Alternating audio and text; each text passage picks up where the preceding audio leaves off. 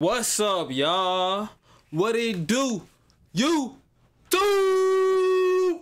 Hey man, now look. Today we reacting to how rappers spent their first check. They get that Bentley or did they get that lamb?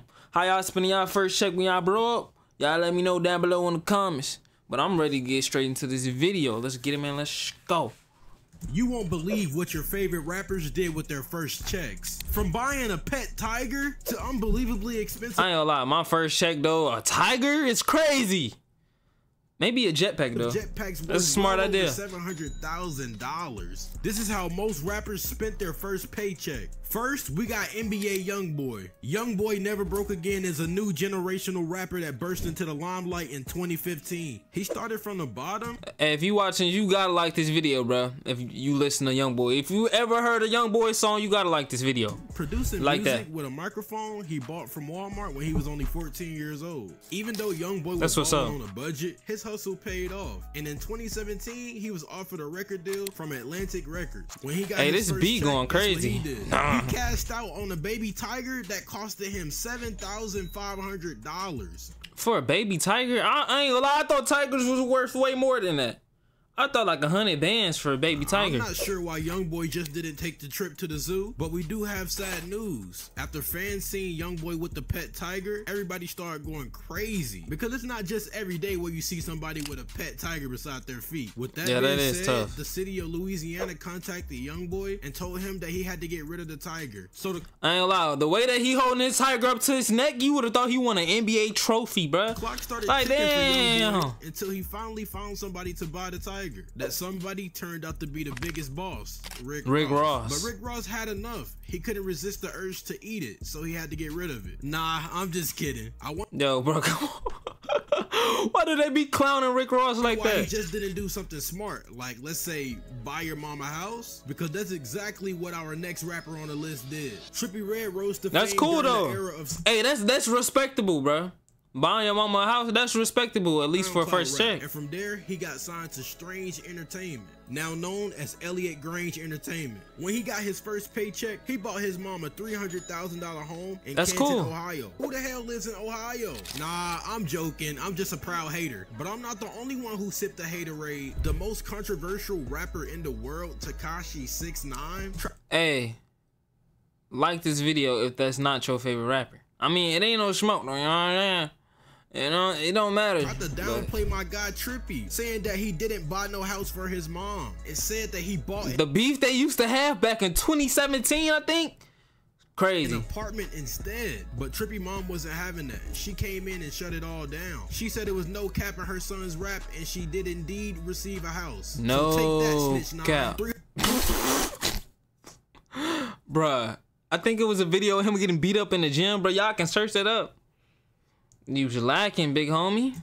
100k is nothing to Trippie Redd, especially He a when troll, your net worth is seven million dollars. This next rapper is regarded as one For of sure. the most influential rap Lil Wayne. rappers on the rap scene. And what he did with his first check probably influenced younger rappers like Trippie Redd. Because in 1995, rapper Lil Wayne was only 12 years old when Birdman signed him to Cash Money Records. And Damn. Not to mention, Hold 12 years old? Damn. Can I get a record deal? I think I'm past due. years old when Y'all wanna hear me spit? Birdman signed him to Cash Money Records. And not to mention, he was the youngest member of the label. Lil Doogie, as he was known as at the time, got his first paycheck of $6,500 and offered it all to his mother. Surprisingly, Oh, cool. his mother didn't even want a penny of it. She just let him do whatever he wanted. So, Wayne did what any other child would have did in his situation. He went and bought a toy, but not just any toy. Wayne went sure. to his dealership and copped the Nissan Pathfinder. Like, what is he gonna do with a car at that age? Oh, that's right. Wayne was just flexing because he wasn't even old enough At to drive it yet. Yeah, in Louisiana at the time, you had to be at least 15 years old to drive a car. And well, Wayne was only 14 years old. That's A Boogie crazy. With the hoodie did something not so different from Lil Wayne. That this is y'all listen to A Boogie, bro. If any of your rappers pop up, bro, you just gotta like the video. Just like that. You swear it on it. Remember that. Yeah. He was born the same year Lil Wayne started his career. And like NBA Youngboy, he signed to Atlantic Records. And when all those zeros hit his bank account, he gave majority of the money to his parents. But don't get it twisted, Facts. he did treat himself. Going on a shopping spree, buying a chain, and what he had left over, he invested it into personal essentials. But Cardi B wasn't thinking about nobody but her mouth. Because when she got her That's first tough. paycheck, she bought a new set of teeth. With How much them joints cost? her back two thousand dollars. Damn, two thousand dollars for some teeth. I'm saying? That's sixty-four thousand dollars worth of teeth. Now, if she Tough. paying that much for some teeth, it better come with a massage and some AirPods. Cardi B, who is known for her aggressive flow, AirPods crazy. gained popularity through the Vine and Instagram app. She's the only female artist to win a Grammy Award for the best rap album as a solo artist. So Oh, I tough. guess she do deserve to have those pearly whites in her mouth. However, Cardi B is not the only rapper that likes to care about how they look. Yeah, rapper G Herbo from Chicago started his music career Bruh. First G Herbo song I heard was uh, I'm rolling, I'm rolling, I'm rolling, I'm rolling, I'm rolling, I'm rolling, I'm rolling, I'm rolling, I'm several mixtapes dated all the way back to 2014. But in 2017, he made his first major release with Epic Records. He spent about $30,000 on clothes and didn't stop there. Damn. He said he was Damn. buying a new outfit every day. I mean, how many clothes does a guy need? One for every day of the week. Different Now, fit of the day. That was ridiculous. I It mean, different crazy. fit every year. Slim Jxmmi from Rae Sremmurd didn't do anything tangible with his first check. Slim Jxmmi is the oldest of the two brothers. The duo signed to Mike Will Made-It's Ear Drummers imprint in 2013. And they did some impressive things. What they do, Their what they do, what they do. Was certified platinum by the RIAA. Oh, so Oh, yeah. Slim Jxmmi took this opportunity to celebrate. And by celebrate, I mean blow your money on nothing. Yeah, Slim Jxmmi How you blow your money on nothing? admitted to blowing his first paycheck on purpose. Why? Because apparently he was a sidekick and he knew he was gonna make the money back. And that he did. Because so far, the brothers have been nominated for seven BET awards and they've won one. And they It's also have lit. multiple hits. So I guess Jimmy was right to bet on himself. 50 Cent is not just a rapper, he is also a businessman. And when we say business, oh yeah, we mean business. Because when 50 got his first check, he spent it in a way that nobody could even think of. How my boy is 50 spent his check, bro. Get straight to it. Yeah, there was a crazy rumor back in the day that said that 50 invested his money into his drug business, which technically it paid off. I ain't gonna say too much. Nah, I'm cool though. I'm cool off gravy. But I would say, uh, young man, that's a smart idea, my God.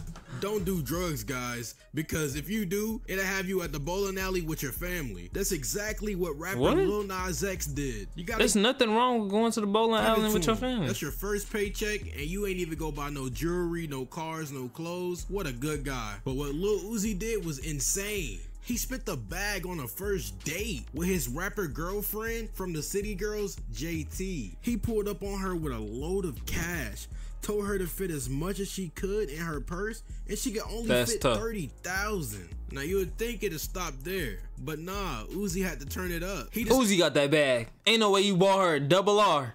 decided to blow another bag on her at the Louis Vuitton store. And then he had the nerve to take her out for a Taco Bell dinner. Nah, buddy, we saw what you did. But that's not even exactly what Lil Uzi spent his first check on. Although it's more meaningful than the $700,000 Uzi spent on a jetpack. Now that's just weird. Like how Post Malone is weirdly unique. So it's only normal that his taste would be different from the other rappers. He signed his first deal with Republic Records I ain't gonna lie though, that one uh, armor truck that Lil Uzi got, bruh, I would cop. I would cop that, bruh.